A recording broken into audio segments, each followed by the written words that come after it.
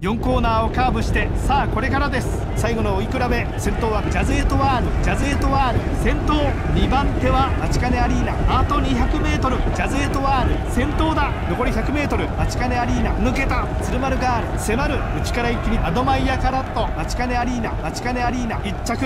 2着にはどうやら。鶴丸ガール。見事に勝ちました。マチカネアリーナ。鶴丸ガール。2着止まり。しかしなんとか面目を保ちました。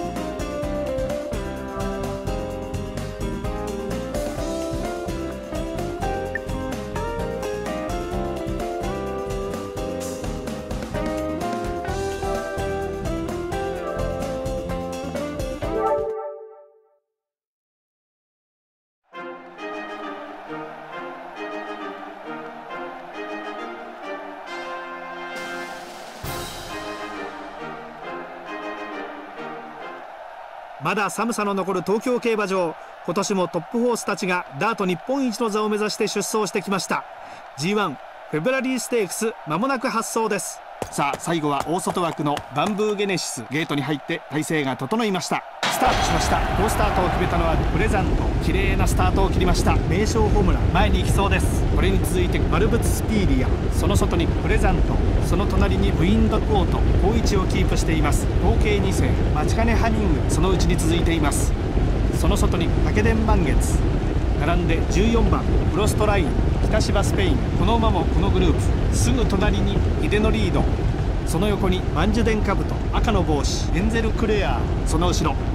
内からはカワチソレイユ最高峰にバンブーゲネシス各馬砂煙を上げてかけていきます。前の方からもう一度見ていきましょう。この辺りで各馬大欅の向こう側を通過。この辺りで先頭が変わりました。マルブツスピーディア。まだ粘っています。ここで先頭が入れ替わりました。ブルーファミリーマルブツスピーディア。2番手に控えました。さあ先頭に立ったのは統計2世。統計2世。先頭。2番手はプレザント。懸命に追いすがります。残り 200m 合計2世先頭だ。リードは1馬身。後続の足色はどうか。2番手は北芝スペイン。先頭は合計2世1着でゴール。合計2世1着。2着にはどうやら北芝スペイン。これが世界を制した実力だ。合計2世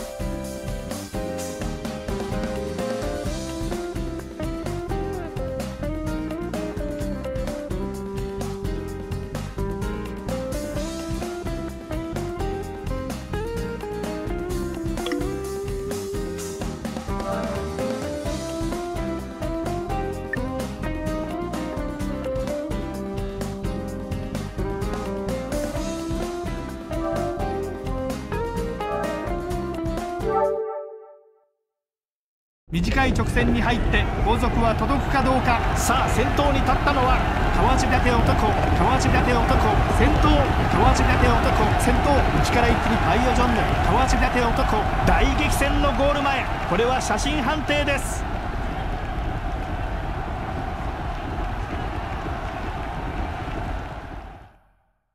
これは際どい勝負。